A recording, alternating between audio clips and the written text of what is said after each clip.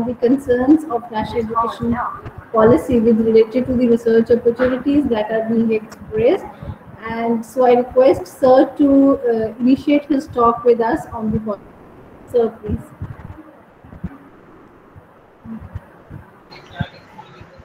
Thank you, Neil. Uh, it's nice to see some faces who are quite familiar to me, Kuldeep and a few others. Yes. Uh, national education policy, also this also sometimes described as new education policy.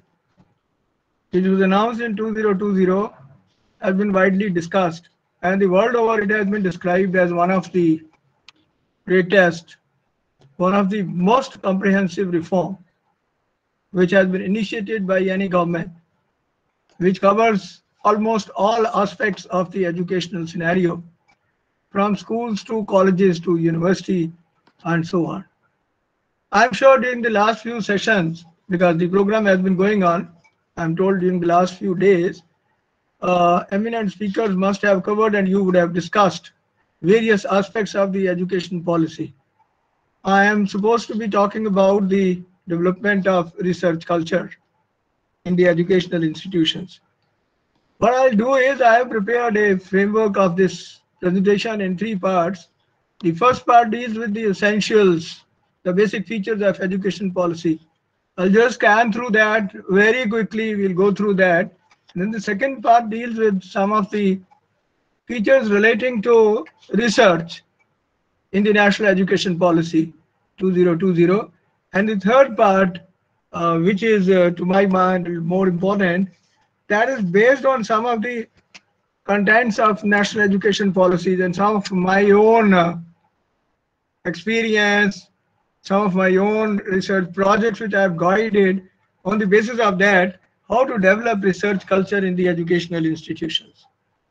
So we start with the with the national education policy and uh, uh, the basic features.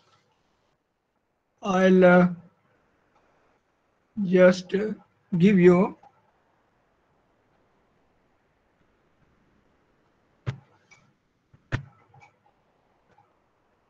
some problem with my some technical problem. Just a minute.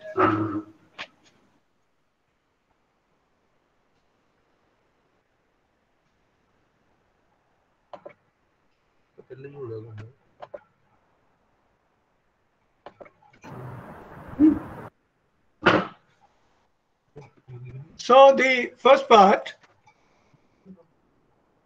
i hope the screen is visible to all Yes, sir, the screen is visible to us. Right.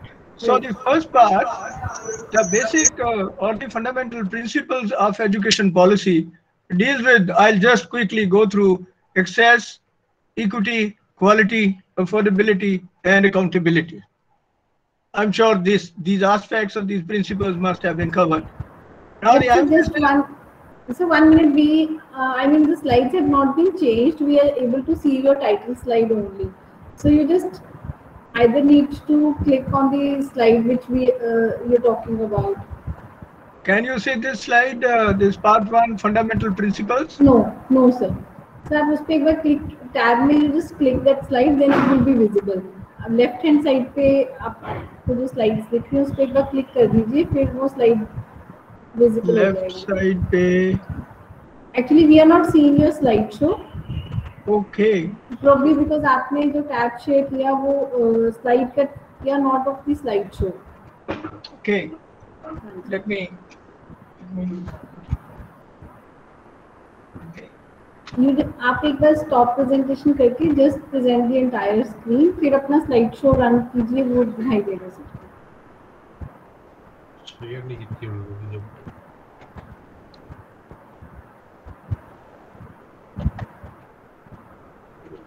video.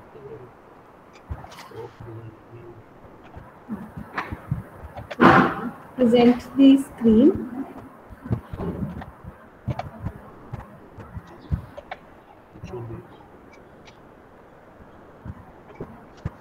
Yes. And can you see now? Yes, sir. Now we can see. Yes, sir. You can see. Okay. Yes. Okay.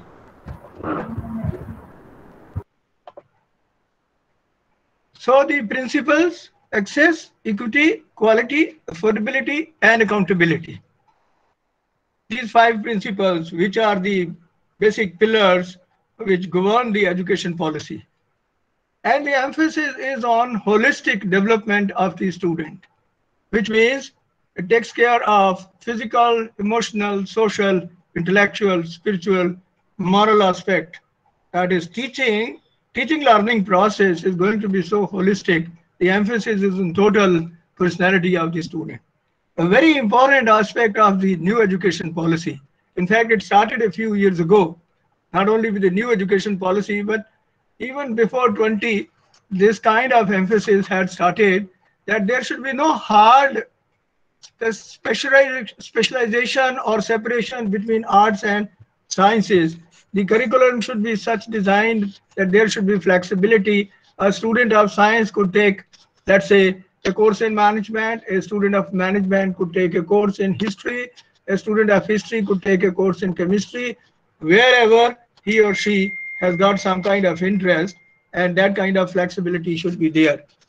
The whole emphasis now is shifting from, I mean, these, these teachers, faculty members, and students of education would, would realize and would agree, shifting from rote learning to creativity, to critical thinking, to encourage logical decision making and innovation. Innovation is the key word which you have to keep in mind when we are trying to understand the new education policy. The emphasis again on life skills such as communication, cooperation, teamwork, resilience, and so on. And a very important aspect is the application of, I'll say, greater application of technology in imparting education, greater use of technology in teaching learning processes. And the teacher is the focal point, is the central point is the heart of learning process and therefore quite a good amount of uh, emphasis has been laid on the faculty whether it is a school or a college or a university faculty has to be taken care of and the faculty's work has got to be not only planned and replanned but also reviewed and assessed and the aspects relating to faculty like for example the terms of employment etc have got to be taken care of, and much has been said about that. Outstanding research is a core requisite, core requisite for outstanding education and development. I remember 20 years ago, 30 years ago, I would say even 40 years ago, I was there at Punjabi University. Some of our teachers used to say, why is it, and when I became Dean of Academic Affairs, demand was particularly made to me that we are teachers, our job is to teach. Why is the university trying to assess and evaluate us on the basis of research? My own feeling has always been that good teaching and good research, they always go together. A person who, who lacks the research skills may not be in a position to impart good teaching. Good teaching must go along with the research experience and a continuous review of the progress based on sustained research and regular assessment of teaching learning processes and other aspects of the working of higher educational institution as well as school level by educational experts. Now, the next uh, aspect is on, and usually this is talked about on funding. Substantial investment is required uh, to be made at all levels in the educational process, starting from school to the university and at the research level. Now, the objectives, this is the second part, and the second part is more focused on the higher education. The second part is revamping higher education system with a view to create world-class institutions across the country and to increase gross enrollment ratio to at least 50% by 2035 you might be knowing that at the moment, at present, the gross enrollment ratio is around 28%, 27, 28%. And the idea is over a period of 15 years, this was in 2020, and uh, by 2035, 15 years, the ratio had to be increased from 28% to the enrollment must go up to 50%. of those of those persons who are eligible to be enro- enrolled in the higher education system. Then a new vision and architecture for higher education has been envisaged with large, well-resourced, vibrant, multidisciplinary teaching and learning systems. Quality university and colleges and National Research Foundation, in order to give a push to research, in order to improve the quality of higher education, higher educational institutions, and the research framework. It is proposed to have three types of institutions. And again, this word is being used in the education policy again and again. World-class, world-class universities, world-class institutions of higher learning, world-class research and high-quality teaching, and so on. So three types of institution. Type one, which are focused mainly on very high quality research, but they will also impart teaching. That means universities where the main emphasis on quality research, but they would also impart quality teaching. The second type is high quality teaching. That is the institutions which will be largely imparting teaching, high quality teaching, but would also make substantial and significant contribution to research. And third type of institutions would be largely undergraduate institutions which will impart high quality teaching. Now these three types of institutions are based on difference in focus. All will be of high quality. Research with teaching, teaching with significant contribution in research and teaching. Now this slide gives you the status of universities and colleges. Type 1, it is proposed to have 150 to 300. It is proposed to have 150 to 300 type 1 institution, which would be termed as research universities and where approximately 1% of GDP is likely to be, is proposed to be spent. 1% of GDP. Type 2 institution, about 1,000 to 2,000 higher educational institution termed as teaching universities. And as I've said, they would also make significant contribution in research. 3.5% of GDP to be spent on these. And type 3 institutions, 5,000 to 10,000 colleges engaged in undergraduate teaching, 0.5% of GDP to be spent. So additional expenditure required for higher education, if this plan, these, three types of institutions are proposed, the additional expenditure is proposed to be 5.0% of the GDP, 1% on type 1, 3.5% on type 2, and half a percent on type 3 institutions. It is proposed that uh, under the new structure, new architecture of higher education, uh, currently there are about 800 universities and there are about 40,000 colleges. It is proposed to consolidate them, restructure them, reorganize them into about 15,000 excellent institutions. So one of the greatest challenge is going to be how to convert these uh, 40,000 plus 800 48,000 institutions, how to consolidate and convert them into 15,000 excellent institutions. So this would be a process of some kind of merger or, uh, well, those details have not been worked out and have not been indicated. What has been indicated is that the present 48,000 institutions uh, in the process of whatever has been planned the focus will be to have 15,000 excellent institutions. And this gives, uh, well, we are talking about research and uh, the status of research in the country, and uh, this is a kind of a comparison of the kind of spending, of the kind of expenditure we are making on research compared to other countries. Spending on research and innovation uh, 0.7%. India is spending 0.7% of GDP, as against 2.1% of GDP in China. China's GDP, the total amount is also substantially, substantially larger than that of India. And 2.8% of USA. In the case of USA, again, the total GDP is much larger, and 4.3% in the case of Israel. So that gives an idea of where we are in terms of spending on research and innovation. Similarly, researchers, the number of research scholars who are engaged in research per lakh of population, we have 15 per against a population of 1 lakh of population, we have 15 researchers.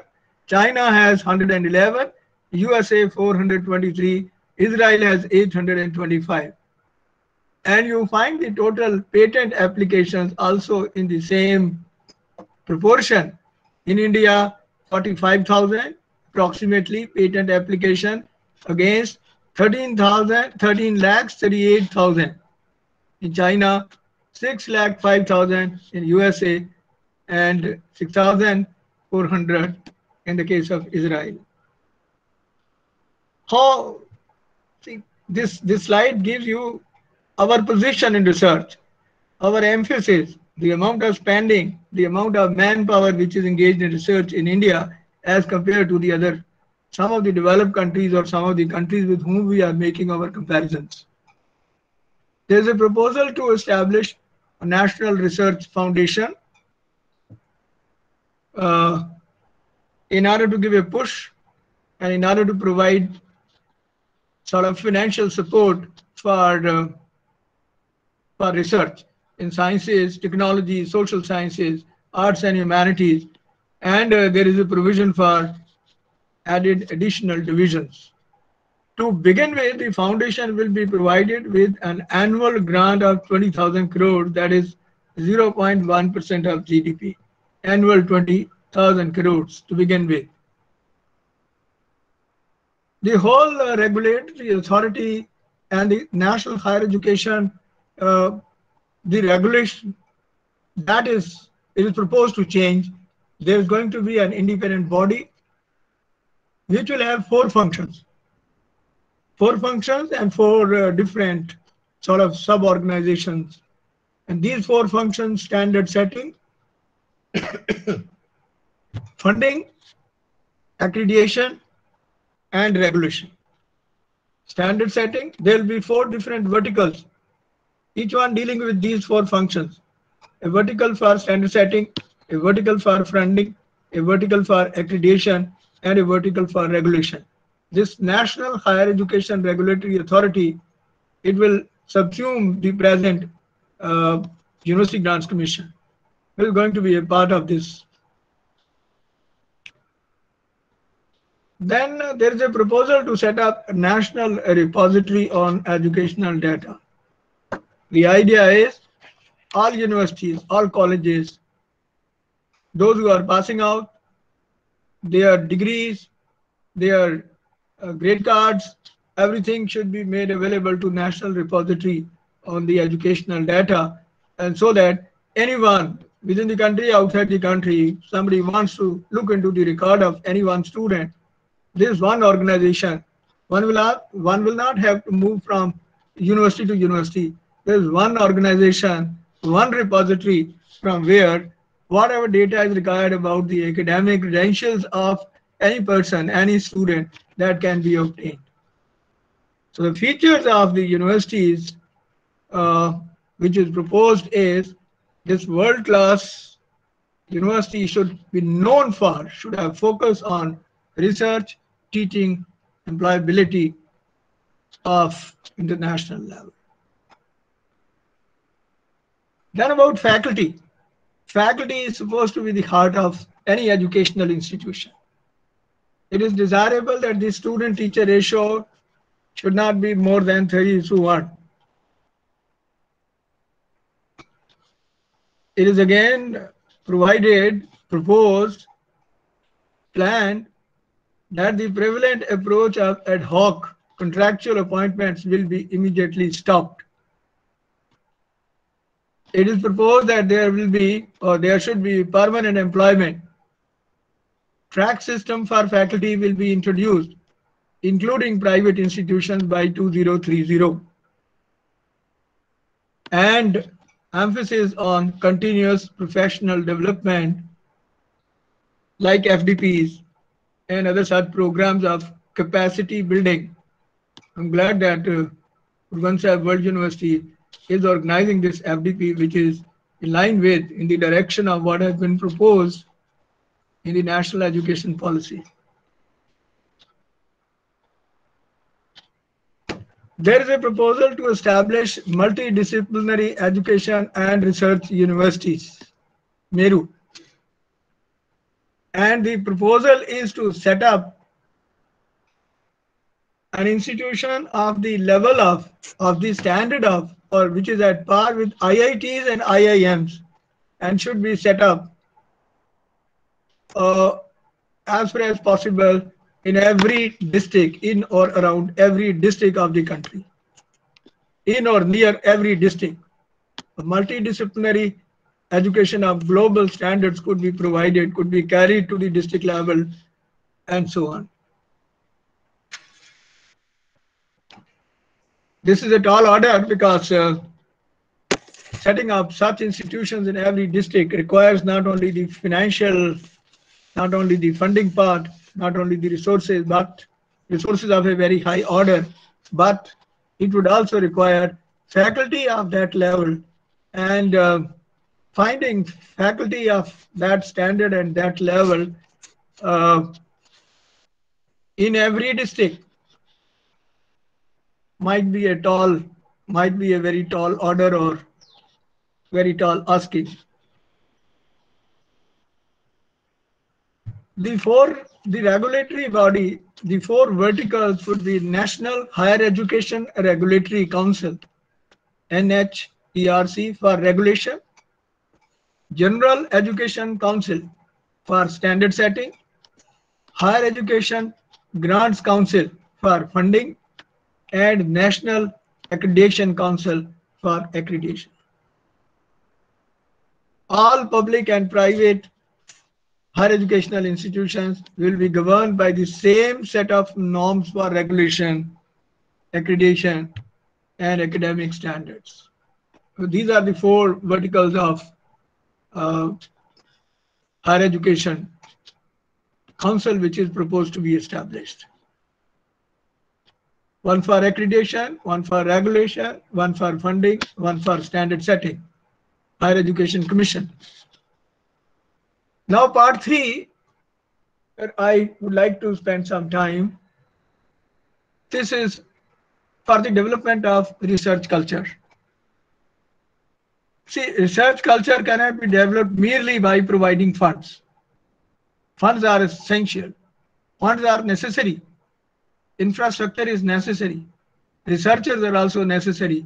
But more than that, or along with that, a culture, a climate has got to be created in the institution so that people are, the researchers are, the faculty is committed to going for research and quality research. And some of the ideas which I have picked up from the new education policy. Now, first is curriculum. If if research culture has to become a part of the curriculum we need to what i am suggesting we need to look at this. And we need to very seriously consider this this uh, proposal. Curriculum should be research oriented and uh, there are two models model one is undergraduate four years postgraduate one year uh, perhaps uh, most of you might be knowing that in some of the professional courses, in engineering, for example, the degree at the undergraduate level at BTech degree is already four years. You may also be knowing that even in the case of BA, Arts and Social Sciences, Delhi University had introduced four-year program and uh, then it was opposed by certain quarters and then they were advised by UGC or forced by UGC to stop that four-year program and go back to three-year, old three-year degree program. Nevertheless, there were universities, apart from Delhi, there were certain other universities, to my knowledge, who were having a four-year program. For example, Punjab University, when I was there, Punjab University had in all sciences, physics, chemistry, botany, zoology, and uh, biotechnology. They had uh, honor schools, and the and the degree program was four years. And this four-year degree program was followed by one-year PG program. It's a different thing that some students used to take a little more than one year, but what was prescribed was four years plus one year. But at the same time, the colleges which were affiliated to Punjab University, they were having a BSc program of three years, followed by a PG program of two years, MSc two years. Three years BSc, MSc two years. But these honor schools in the university, in the department, they were having uh, BSc honors of four years, followed by MSc of one year duration. And MSc level in the same department, both were continuing that one year program as well as two years program. Now at both levels, that is undergraduate as well as postgraduate level, what is proposed is it should be a mix of theory plus research inputs. So for example, if we if we concentrate, if we look at model one, undergraduate four years and postgraduate one year, postgraduate one year would be entirely by research. No teaching of theory, entirely by research. Like a student works for research on MPhil or PhD in the same way, MSc program by research, one year duration. And this four year also, out of the four years, one year, maybe the last year is proposed to be on research. So, which means if we have to really develop the research culture, theory will be taught first three years of the undergraduate program, and then last year of the undergraduate program plus the PG program of one year should be all research. Uh, there could be some difference of opinion in the sense that some of our friends, they might say, and they are saying, that three years of undergraduate is not sufficient to teach all theory including the undergraduate theory, including the theory which we are teaching at the PG level. So three years are not sufficient. Now, if that is not sufficient, one can think of a little alternative that theory could be taught three and a half years and six months of undergraduate and one year of postgraduate should be entirely devoted to rigorous research, quality research. And in the second model, three years of undergraduate uh, one semester out of that, one semester during the third year should be research. In certain cases, it could be research. In certain cases, maybe social sciences, maybe business schools. One semester could be industry attachment. In education, they can seriously consider uh, education students are going for teaching practice, I suppose, in a semester. But then a research input can be added. And out of the two years of postgraduate teaching, if the second model is adopted, one year should be theory and one year, full one year should be rigorous research. That is in either of the case, either of the model, 4 plus 1 or 3 plus 2. Research input should be provided both undergraduate level as well as postgraduate level. And then next is what kind of research? We'll come to that skills on the part of teacher. What kind of skills are required in the teaching learning process? Not only teacher, teacher as well as the student who is learning. Now, the emphasis has been on, again, one model which is largely being followed presently. Pedagogy.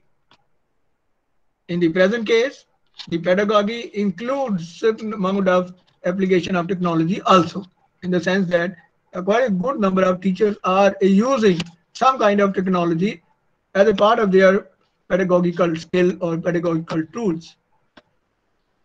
Teaching learning continues to be, if not entirely, substantially rote learning. Rote learning. And then the third thing, third kind of skills, they are the contents which are part of the lectures which we are preparing. So three things, pedagogy, which has some technology inputs, rote learning, and then thirdly, the contents, the kind of contents which are descriptive, which may be theoretical, which we try to pass on to the student, and the student adopts them, just mug up and tries to reproduce them in the examination. And both teaching as well as the examination system, they lack the application orientation. They lack the kind of skills which are very essentially required on the part of the students. If we have to move to the next uh, generation and next, uh, uh, well, kind of, and in line with the new education policy, then the second model of these skills, which I proposed, technology.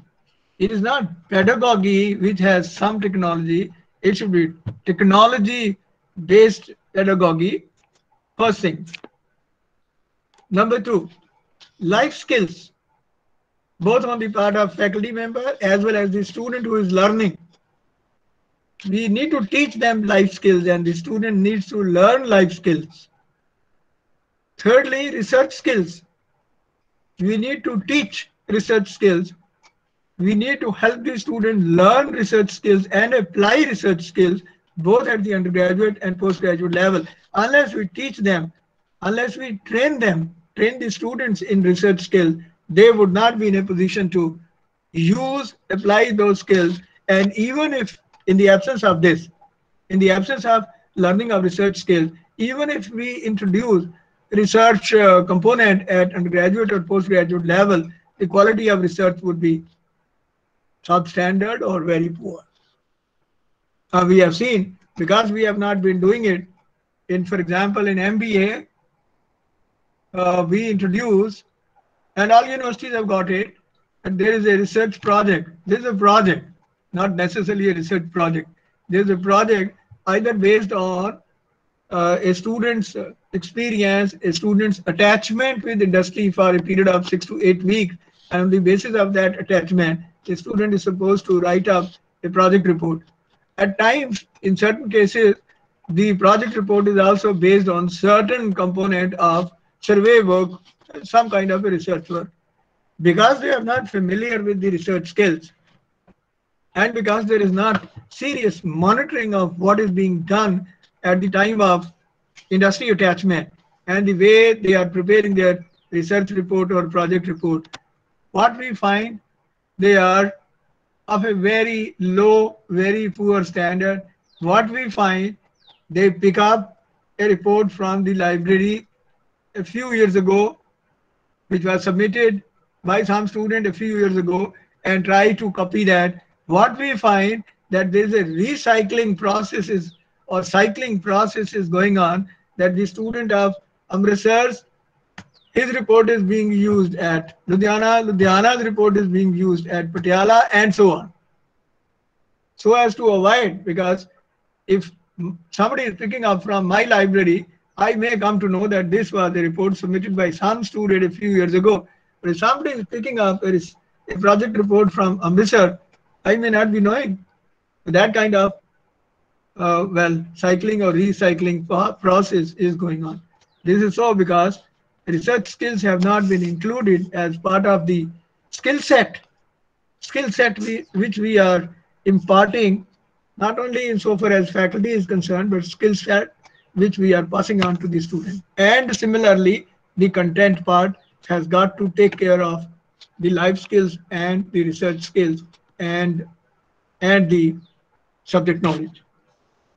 This is uh, the second thing, the kind of skills which need to be adopted, uh, acquisition of these skills and use of these skills and imparting of these skills. Only then research uh, culture research climate can be introduced, can be can become an integral part of the curriculum of the various universities and uh, colleges. Then the third thing is the research focus. Research focus, theoretical, to problem solving, to innovative.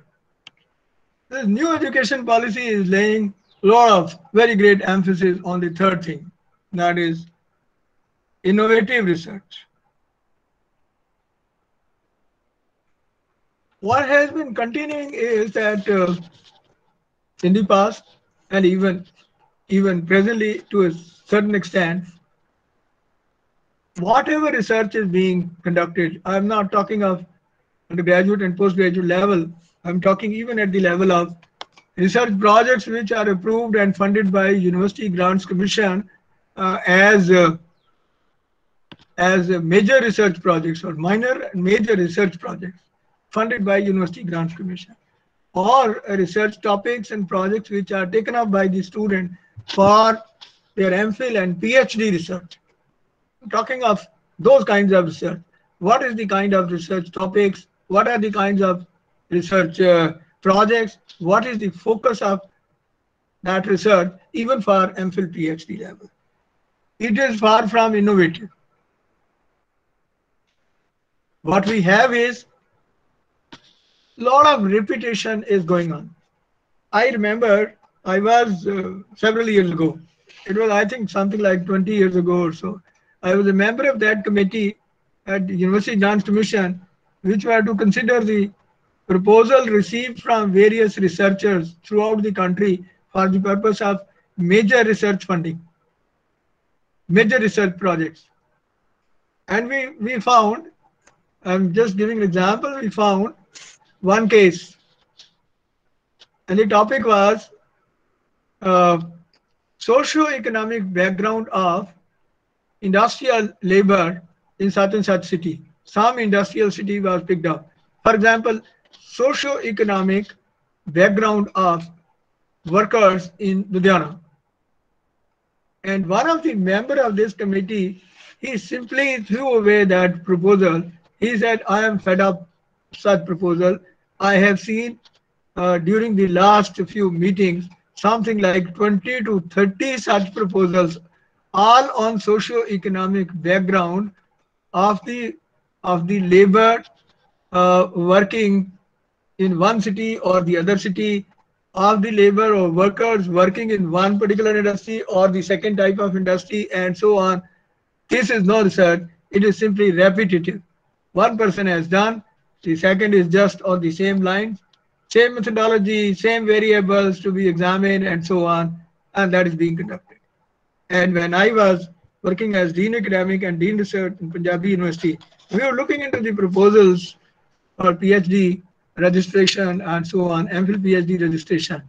We did notice a lot of reputation there coming from different departments. Even after that, for example, from the management department, if one student has conducted a research on this is customer's perception about the service quality provided by a bank or a comparative study of let's say service quality of the State Bank of India and um, HDFC Bank. This is a comparison of public sector and a private sector bank service quality. Uh, one person has done, the first person might have done a good job. The second comes up, same topic. Third comes up, same topic. I have seen something like 10 such proposals, same service quality, banks, public versus private in Punjab itself. Study being conducted in Punjab itself. I have seen at least 10 such proposals or 10 such projects. Most of them have completed their work. Most of them have got the PhD degree also. Now this, this research apart from the fact that it is neither problem solving nor innovative, this is this is repetitive research. And what we need to do is when we say innovative, research topics have got to be selected carefully that they are different from what has already been done, that they are related with the with the problems, problem solving, related with the problems being faced by various organizations in various sectors so that your research enables the, the sectors and the organizations to solve some of their problems. Universities are the centers of research and innovation. And these centers of research and innovation should enable, should help. And if you are doing this kind of research, which is really innovative, which is problem solving, which is related with the problems and the challenges being faced by various organizations. Once we start doing it, funding will come from various organizations, industrial organizations. Funding will come from banks. Funding will come from insurance companies. But in that situation, they will they'll start feeling that the research which is being conducted is of something. It is useful to us. It enables us to improve some of our systems, some of our uh, procedures, and so on. Our technology and will help us to bring about greater efficiency, will bring about and will enable us to cut down costs and improve the performance of the organization. Once we convince this, funding will come. So then we don't have to depend only on the government uh, organizations or government departments or UGC for the purpose of funding.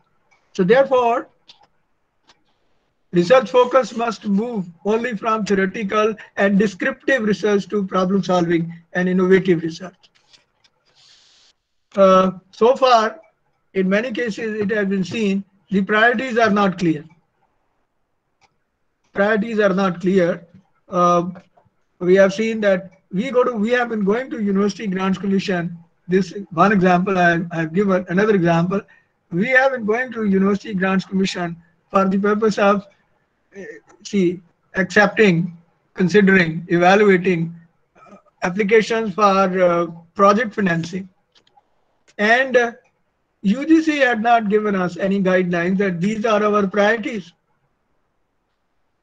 Those are priority, and therefore the members of the committee, their own whims and fancies, the members of the committee, on the basis of their own thinking, on the basis of their own perception, they will pick up some, they will reject. They will pick up this, the project has been designed properly, the, the, uh, the objectives are clear, the methodology is appropriate. Chalo, isko fund kar. But there was a little focus on, in terms of priorities, that the focus of research should be on social issues. Focus of research should be on developmental issues. The focus of research should be on innovation. And uh, therefore, in spite of the fact that you pick up university by university, you will find some 400, 500, 600, 1000 research projects have been completed, degrees have been awarded. All traditional major universities, Punjab, Punjabi, Guru Nanak Dev University and Kurukshetra and, and throughout the country. Each university can boast of awarding something like 1,000 to 2,000 PhDs. But you look at the number of patents which they have filed on the basis of the research and the number of patents which they have they have acquired on the basis of their research. That number is very small because much of the research, and again, similarly, the research papers they claim the total number of research publication in terms of research papers in UGC recognized journal, care list journal, Scopus, Web of Science, and um, others which are peer-reviewed journal. Total number is in thousands, but patents filed, patents received number is extremely small. Therefore, the focus must shift on the direction and priority oriented and quality oriented. Mainly so far the who has been sponsoring, who has been providing funds for research. UGC with limited funds. Some government departments, again, limited funds. Some other institutions, again, with limited funds. Not much funding has been done by industry. And not much funding has been done by industry because I know of two instances. One, one of the major uh, industrial organization in Punjab, major group is Vardhman, Vardhman Group, based in Ludhiana which has something like 17, 18 units. Shiripal Oswal is the chairman.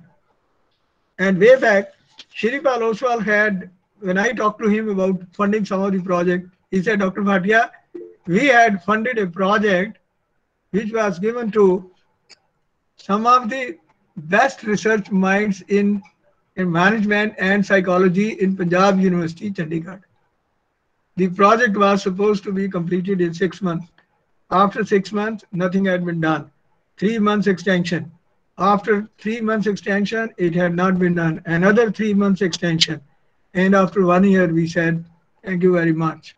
We are used to a, a, a kind of a time limit and time framework. We cannot work like this, that you talk about six months and for a year or two, nothing has been done. One. Two. Second, he said, the quality wise, we are interested in application orientation. We could help us solve our problem. University professors, they are working on, on projects which have many other things, many other objectives except the application orientation. So the focus, the type, the emphasis, that has got to be changed. If we need to involve other institutions like industry and service organizations and non-profit organizations to fund our project, to fund our research. They need to be involved. That's one thing. Their involvement in the in deciding about the type of research topics, their involvement in the time framework for completing a research and step by step, and their involvement in the kind of infrastructure and um, and other things which we are using for the purpose of research. Their involvement is very essential. Only then the kind of research which we conduct that can become useful to them, that can become acceptable to them. And once we have this kind of uh, this kind of collaboration, this kind of agreement, this kind of discussion, that will lead to not only improvement in the curriculum, that will lead to improvement of and inculcation of and development of research culture in the institutions and uh, research culture in the curriculum and so on.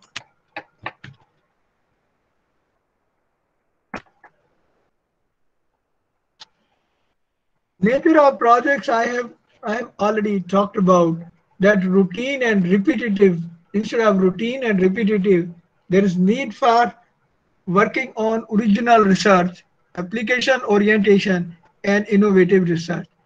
And I would like to add, it is not merely the research project where we have to emphasize on original, application-oriented, and innovative research. This should become a part of our teaching as well. Teaching as well. Application orientation rather than simply descriptive. Innovative rather than simply theoretical based on original research. Our problem is that uh, while choosing a project or while working on a project, many a time the student lacks that skill where he or she can look into the original sources and based on original. Uh, I, for example, see, we have the place where I am, the university where I am working, we have a PhD program and we are catering to something like uh, 70, 80 or 90 research scholars every year uh, in different disciplines, in about 30 disciplines, 28 disciplines in which the research is going on. And uh, every time after the coursework is over, sometimes even during the coursework, I have to talk to them a very extensive session on choice of how to choose a, a research topic and how to choose a research topic, we'll tell them, well, you go for library research. For the last one year, unfortunately, that is closed because of COVID and the universities being closed, and online teaching. But otherwise, we say go and study the literature. Library, your university or any other university. Literature survey is one very important very important aspect. Number two, you go and uh, study on Shodh Ganga. Many of the research scholars do not know what is Shodh Ganga and how to consult at Shodh Ganga and what to consult at Shodhganga. A person who has gone in for research must know Shodhganga must, and uh, that's one source where a lot of PhD projects where degree has been granted, they are placed there. Shodhganga and Shodhgangotri. Now that should become a part of our whatever knowledge we are imparting at the postgraduate level or even at the undergraduate level. If we talk about research, if we talk about research skills, we'll be talking about these sources at that very level. Since we are not doing that at the PG level, what to talk of undergraduate level, therefore, when they come for PhD, only then they they come to know. I am also reminded of a similar kind of, though that's a little different, but a similar kind of uh, example a few years ago, I used to go to the MBA final semester class and I would ask them, ask the students, what are your future programs? What are your objectives? What are you planning to be? And uh, then guide them a little bit of counseling and guidance that how to go about whatever uh, they have in their mind, whatever target, whatever goal, whatever aim they have how to go about, how to prepare for that. Now, I remember this still now, although it happened several years ago. One of the students in the final semester, a girl student, she said, sir, I want to become a professor in Punjabi University. I was, I asked her, why only Punjabi University? If you want to go into teaching line, why not any other university? For that, she had no answer. And then I said, uh, a few years ago, I said, you plan to become a university teacher, a university faculty member. Are you preparing for NET? She did know what is NET. Now these things, these things would not be Greek. Shodhganga or NET, etc. would not be Greek if we incorporate them in the curriculum at the undergraduate and postgraduate level A lot of emphasis in the new education policy, a lot of emphasis is on research ethics. And uh, those of you who are research scholars in this group, I know there are some faculty members and there are perhaps some research students. They would have uh, they would have undergone a course on research ethics, which has been made mandatory by UGC in the research program these days.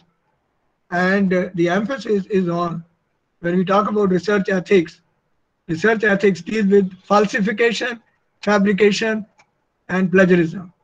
No falsification, which means your research has got to be based on correct, absolutely correct data. No fabrication, that is, neither in the instrument, nor in the experiment, nor in the survey data, nor in the sample, and nor in the uh, tabulation and calculation, whatever is being done, that data, no fabrication, no change, and no plagiarism. We at our place, we have started very rigorously this third thing at the research level. The first thing is the student is submitting a project at the as a part of the coursework. The student is supposed to submit either a project report or literature survey report. We put that whatever software we have got prescribed by the UGC to check plagiarism. And if the plagiarism is more than 10%, we send it back. Not acceptable. Next, after the coursework is over, the student chooses a topic and prepares a synopsis. Whenever we receive the synopsis, again, plagiarism check. And if it is more than 10%, rigorously, seriously, we send it back not acceptable. Then two annual annual presentation and annual presentations they submit again plagiarism check. Pre-submission summary plagiarism check and then thesis of course plagiarism check is there.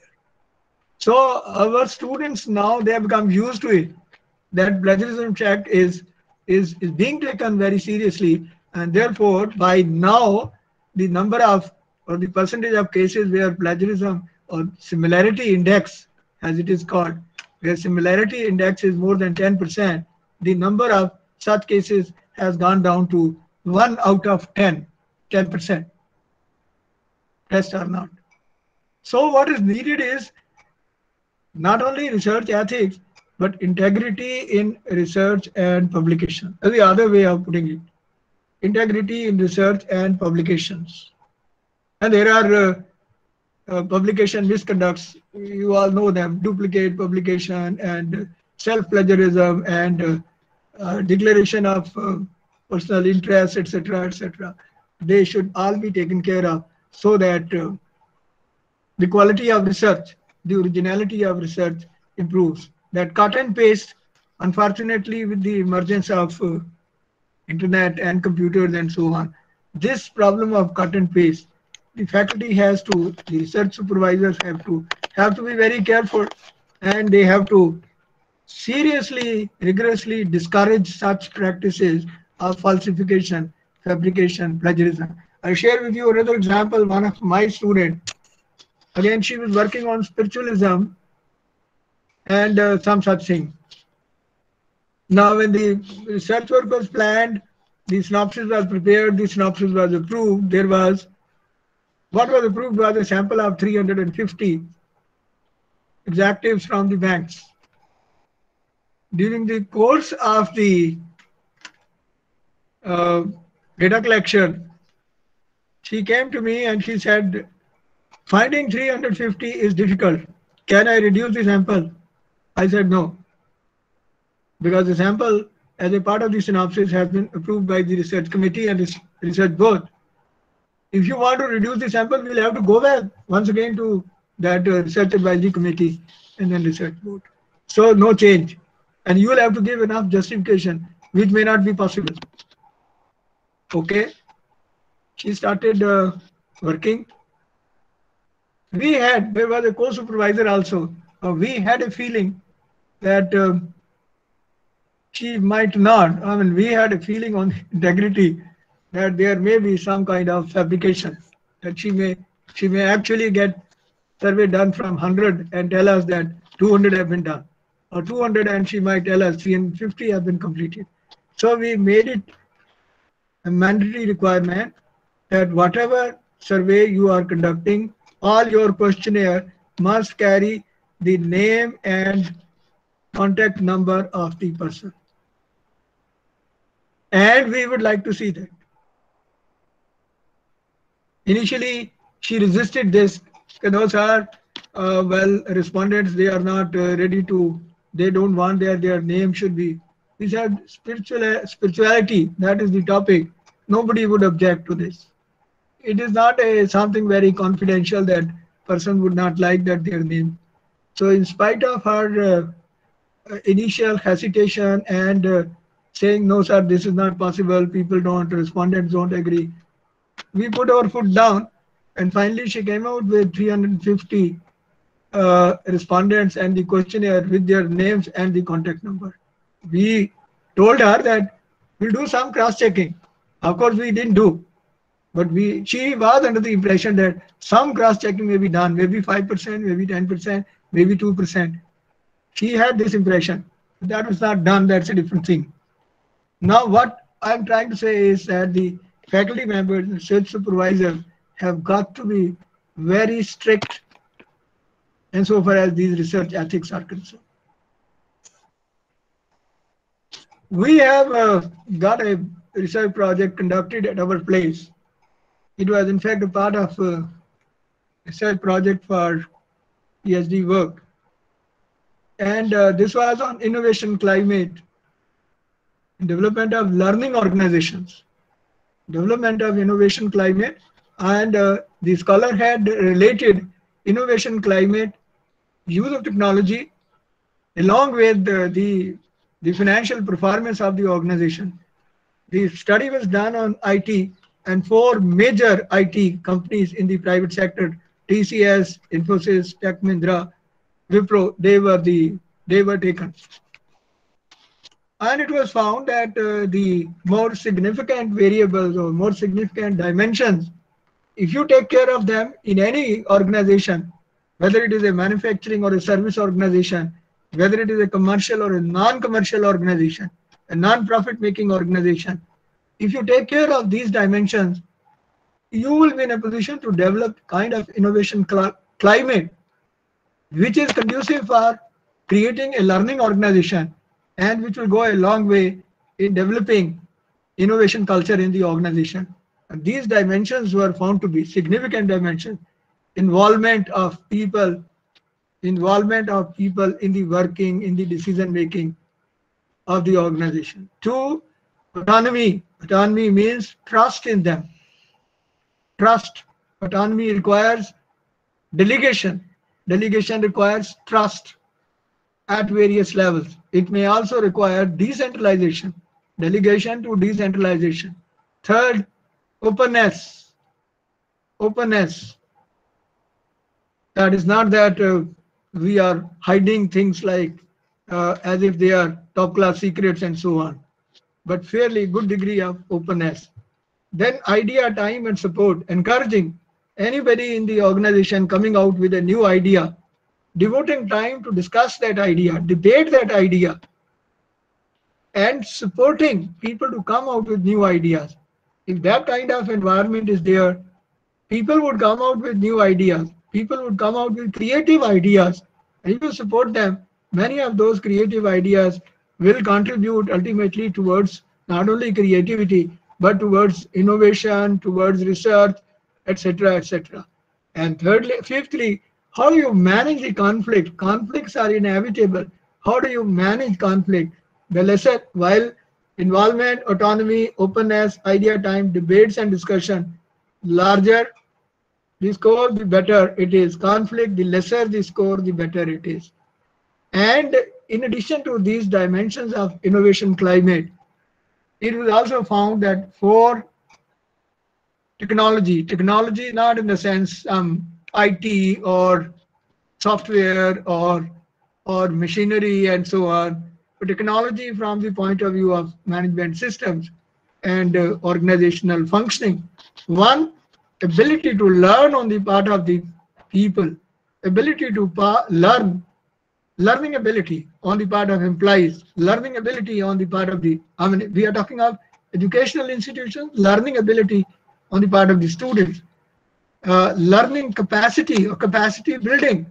To what extent we are we are building, we are increasing, we are developing the capacity to learn, capacity to conduct research, capacity to guide, capacity to create skills on the part of the employees as well as as well as our students so that it goes a long way in developing teaching learning system.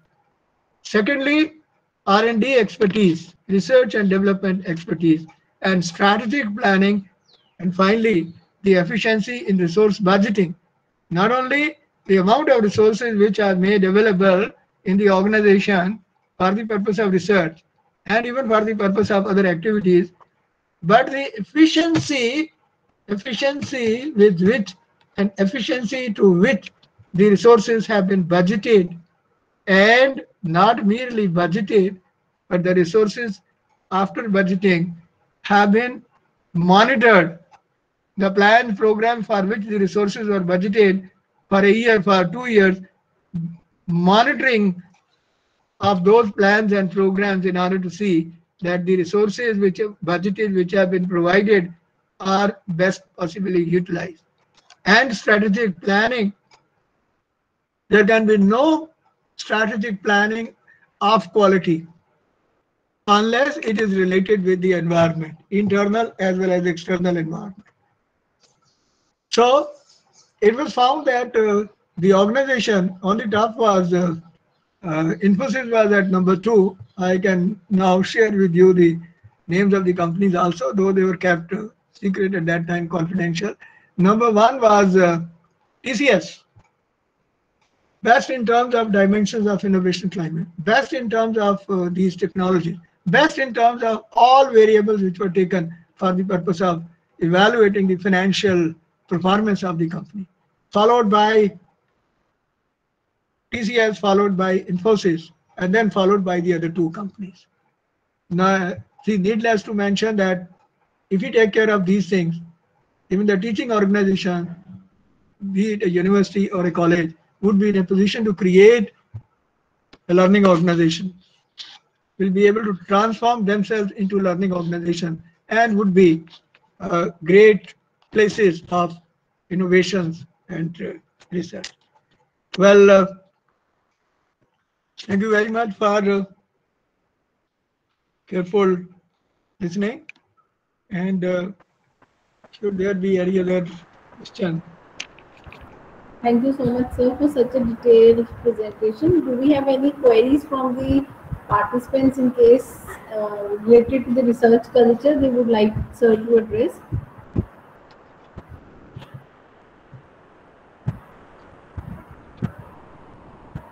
So, like, I just want to put up one question since you have worked as uh, dean research also with us also, and you had had so many administrative positions throughout your career.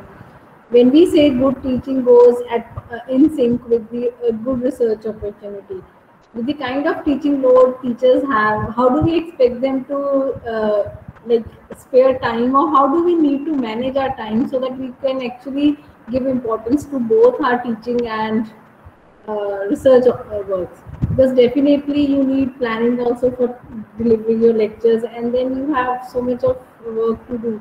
How do we manage that? With any kind of a guidance that you can share with us on managing both aspects of our uh, academic I, I, I have uh, uh, this is usually this is a this is a, a, a kind of a question uh, which is usually asked. I have two, I would say, comments or two responses to this. One is when I say the development of research culture, Right. research culture, research climate, although theoretically, technically speaking, there is some difference between culture and climate. But if we use them as interchangeably, when I talk about the development of a research culture or a research climate and ensuring that this becomes a part of the curriculum, this should be this should become something like a part of the culture see, curriculum. I am not saying that it is only the teacher who is supposed to take care of this. I I am taking all the three parties, all the three parties involved, and these three parties are the faculty, the students, and the management. yes If the three parties are involved, if all of them they want it, then it can be your question, it can be answered, that a solution can be found, a, a balance, a proportion can be created and maintained. This is one. My second uh, comment or my second response would be when we say development of research skills, now I am not saying that uh, a, a faculty member has to teach 18 periods a week 18 or 15 or 16 whatever the number is at your place in certain institutions it is as high as 20 or 21 and uh, at certain places 15 16 hours. I am not saying that you have 18 18 sessions plus you conduct full-fledged you work on a full-fledged research project. What i am saying is that we have to impart we have to inculcate research skills. How do you prepare your lectures? One way is that you open a book and uh, chapter number four, this page to this page, important points, headings and subheadings, note down somewhere and go to the class and just speak them. This is one way.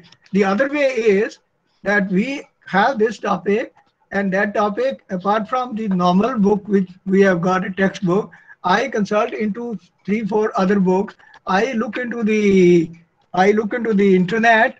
I look into, see, I, I go to Google, look at the internet, some, or I go to the library, look at some of the journals in which one or two research papers appear which are relevant to this topic which I'm going to teach next week, and I pick up certain things. This research was conducted, these were their findings, and I relate those findings along with the lecture. This is the research skill. If you are doing this, you are conducting research. And if you are doing this, then research your research skill and your research is becoming a part of the curriculum is becoming a part of the skill set which you have got and it's becoming a part of the teaching which you are imparting and teaching learning. Similarly similarly the kind of assignments which we are giving to for example i have been lecturing on uh, research ethics to my phd class. And uh, I have more or less completed the program, and my last assignment to them is it's about four or five groups or four or five types. develop the code of research and publication ethics for one group, social science, arts, humanities, and social sciences students. The second, for the business school students, management, commerce. Three, for the students of engineering. Four, for the students of sciences, particularly life sciences, and so on. Now, this is a kind of um, application-oriented assignment. I'm sure the kind of literature which is available on research ethics, they may not find it. There are uh, research ethics for nurses is there. There are research ethics for doctors is available, but research ethics for research scholars of business school is not there. So if you are giving this kind of assignment to the student, the student becomes uh, there is a little pressure on student to go and and reproduce something which is application oriented. So when I say for a teacher, teaching as well as research, I am not saying that you you deliver 18 lectures and then you work on a full-fledged research project. I am saying the lectures which you are preparing should be based on some kind of research skills, application of research skills. That may be your own, research, that may be research published available in library, that may be something, a publication which is available in Google, you use internet and so on. Yes. So basically, which means- is Which means preparing your lecture for the purpose of teaching, you have to conduct some kind of research. That's what I meant. So that means instead of uh, taking both of them in isolation, we need to take them together with each other. Like when. I am doing my teaching, it has to have the research component incorporated in that planning process so that this doesn't become a burden for me as a teacher, rather, it becomes a part of my teaching uh, practice. This is very correct. For example, if I have to teach, um, uh, let's say, uh, service orientation in the case of service organization, or even in the case of manufacturing organization, or service quality, even in the case of universities and colleges, service quality. If somewhere we have to teach this as a part of our business programs, now the right thing would be that we talk about what is service quality, why it is important, and along with that, I say here was a study which was conducted for PhD work, service quality in the case of bank, and they had taken these variables, these dimensions or variables were examined, and these were the results. Right.